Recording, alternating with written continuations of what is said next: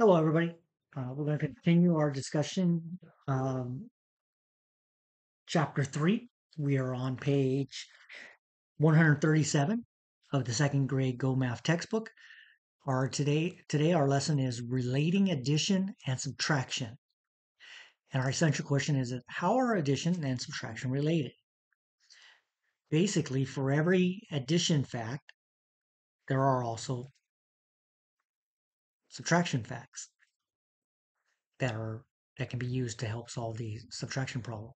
So one way we can do it is to complete a bar model to show a problem. For instance, listen to the following question. The soccer team has eight red balls and seven yellow balls. How many soccer balls does the team have? Well, you notice that we have this bracket here underneath and is joining this side with this side. That means combined, this is the whole. So what we have to do is 8 plus 7.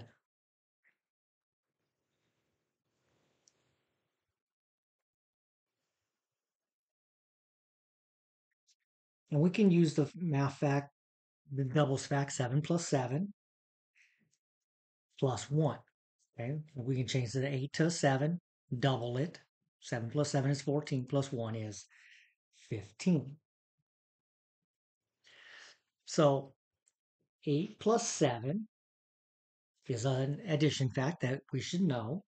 And 7 plus 8 is also related to that, right? Now, for these two addition problems, there are also two subtraction problems that are related. I'm having problems with it focusing today. All right. So listen to this question. The soccer team has 15 balls inside the locker room. The children took the seven yellow balls outside. How many soccer balls were inside?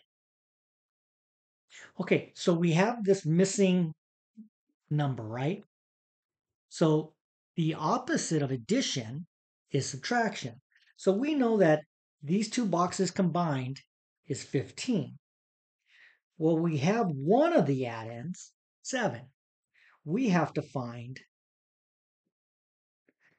the missing one. So we can take the subtract, we can take this, subtract 7, and now give us the missing addend. Okay, and what what addition fact could we use that's related to this? Well, we know that 7 plus 8 is 15, right? So 15 minus 7 is 8.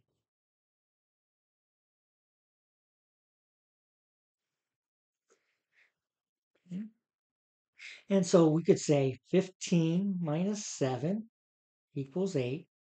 And the other related fact is 15 minus 8 is 7. So what do you notice about these two problems? Well, 8 plus 7, 15. 7 plus 8, 15. 15 minus 7, 8. 15 minus 8, 7. It's all the same digits, right? So that's how they're related. All right, let's look at page 138. So we can use addition facts to remember differences. Related facts have the same whole and parts. That's what we were just talking about. 7 plus 8 equals 15. It has the same fact, same parts, and same whole, 15.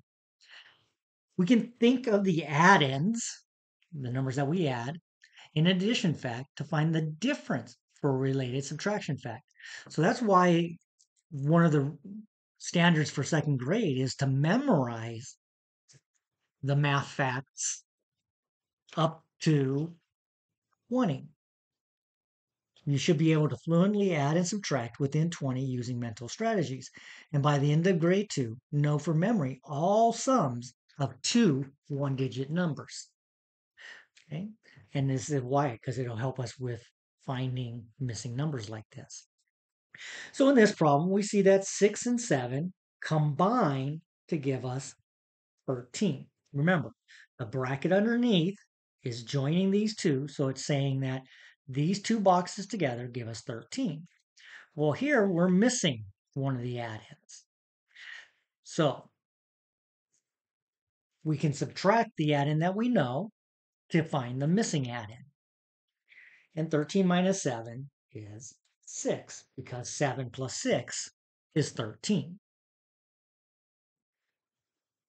So if we were writing the related facts for 6 plus 7, we would say 6 plus 7 is 13, or 7 plus 6 is 13. We could also say 13 minus 7 is 6, or 13 minus 6 is 7. All right, so let's look at this. Write the sum and the difference for the related math facts. 5 plus 4 equals what? Well, if we did 5 plus 5, that would be 10, right? But 4 is 1 less than 5, so 10 minus 1 would be 9. If I wanted to have this subtraction problem, 9 take away 4, it would tell me the missing math addition fact for 5 plus 4, right? 9 minus 5, um, 9 minus 4 is 5. 2 plus 7, we know is 9. So if 2 plus 7 is 9, 9 take away 2 gives us 7. 3 plus 8 is 11. If we take away 8 from 11, that gives us 3 because 8 plus 3 is 11. 5 plus 8 is 13. So 13 minus 5. Again, think of what addition fact I could use to get an answer of 13. 5 plus what is 13? 5 plus 8. So 13 minus 5 is 8. 8 plus 1 9. So if you have 9 and you take away 1, it should give you the other addend. We can also think of it as 9 if 9 minus 1, then 1 plus what would give me 9? 8. 9 plus 9, that's a doubles fact, 18. And so 18 take away 9, 9 plus what is 18? 9. 8 plus 7 is 15. How did I solve that? 7 plus 7 is 14. Add one more, 15. So 15 take away 8. 8 plus what is 15? 7. 4 plus 7, that's 11. So 11 minus 7. 7 plus what is 11? 7 plus 5 is 12. What I did in my head is 5 plus 5 plus 2. 5 plus 5 is 10, plus 2 more is 12. 12 minus 7. 7 plus what is 12? 7 plus 5. Look at page 139. So we'll continue to practice. Write the sum and the difference for the related fact. 4 plus 3. We should know that that's 7. So what is a related subtraction fact for 4 plus 3 equals 7? 7 minus 3 equals what? 3 plus what is 7? 4. 2 plus 6 is 8. 8 take away 6. 6 plus what is 8? 2. 6 plus 4 is 10. 10 minus 6 is what? So 6 plus what is 10? 4. 7 plus 3 is 10. 10 minus 7. Think to yourself, 7 plus what is 10? 3. 8 plus 6 well, 6 plus 6 is 12, and 8 is 2 more than 6. So 6 plus 6 is 12, plus 2 more is 14. 14 take away 6. Think to yourself, which addition fact could I add? 6 plus what will give me a sum of 14? The math fact 6 plus 8. Now here, don't get confused about this, okay? Remember, whatever's on the left-hand side of the equal sign has to equal what's on the right-hand side, okay? So we always won't see it 8 plus 6 equals. It's the same idea, okay? So 9 plus 3 is what? It's 12, okay? So 12 equals 3 plus 9. So what is 12 minus 9? Well, 9 plus what is 12? 3. 6 plus 5 is 11. 5 plus 5 is 10, plus one more is 11. So 11 take away 5. I ask myself, 5 plus what is 11? 6. 7 plus 7 is double fact, 14. So 14 take away 7. 7 plus what is 14? 7. 9 plus 6 is 15. So 15 take away 9. 9 plus what is 15? 6. 5 plus 9 is 14. So 14 take away 9. I can think to myself, 9 plus what is 14? 5.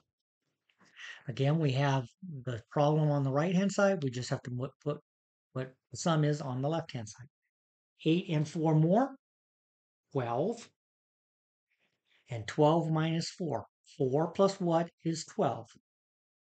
We should be able to say 8. 9 plus 7 is 16. Now, there's a couple ways you can do this in your head. If you don't know what 9 plus 7, you could say 7 plus 7 is 14 and add 2 more because 9 is 2 more than 7. So 7 plus 7, 14, plus 2 more is 16. 16 take away 7. 7 plus what is 16? 9. All right, write a related subtraction fact for each addition fact. Okay, now there's two possible answers for 22 through 25. I'm going to go ahead and write them both. If 7 plus 8 is 15, then a related subtraction problem would be 15 minus 8 equals 7. Or 15 minus 7 equals 8. 5 plus 7 is 12. So 12 minus 7 is 5. Or 12 minus 5 is 7. 6 plus 7 is 13. So 13 minus 7 is 6. Or 13 minus 6 is 7. And 25. 9 plus 8 is 17. So we could say 17 minus 8 is 9. Or 17 minus 9 is 8.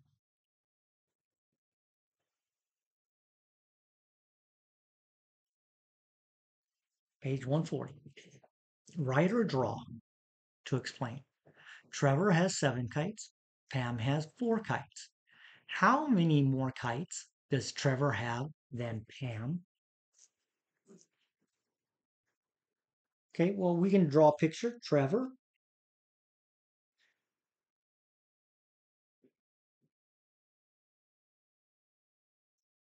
Trevor has seven, and Pam has four.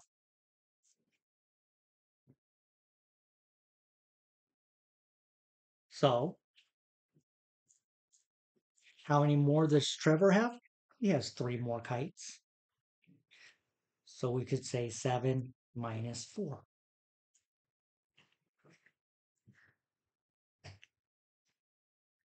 27. Mr. Sims has a bag of seven pears and a bag of six pears.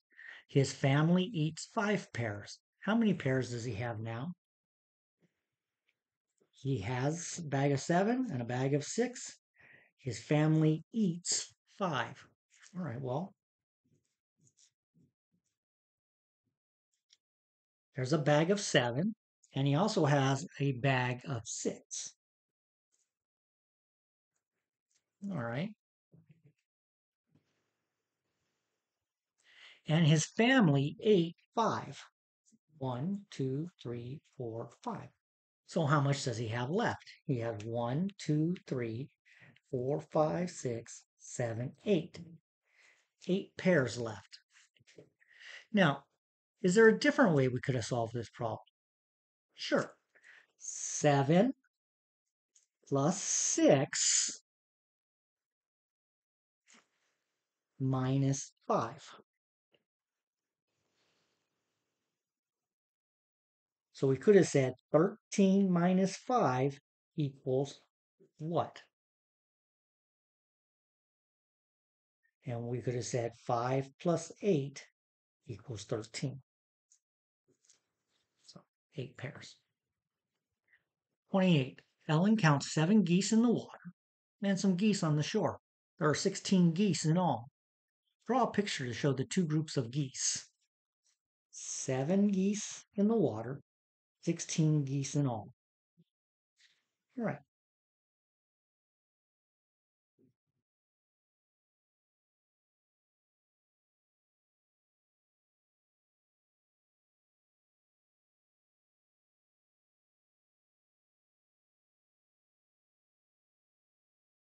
Okay, so I could use a bar model to solve this, right? So this means 7 plus this box is 16. So 7 plus something equals 16. Or 16 minus 7 equals what? Well, what math fact do you know for 7? 7 plus what is 16? What math fact? Well, 7 and 7 is 14, right? So I need two more. 7 plus 2 is 9. So there are 9 geese in the water. Uh, 9 geese on the shore. So we can say 16 minus 7 equals 9. All right, so that's it for relating addition and subtraction. And so until our next lesson, I will see you soon.